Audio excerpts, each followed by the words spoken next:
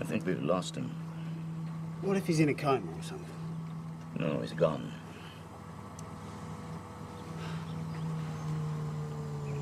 Someone's coming. Quick, get rid of it.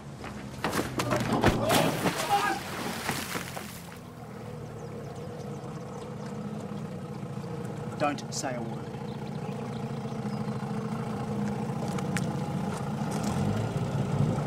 Hey, G'day. have you guys seen Smokey? What happened, love? He he gone walkabout. Yeah, he disappeared last night. I'm just hoping he hasn't been bitten by a snake. Well, probably.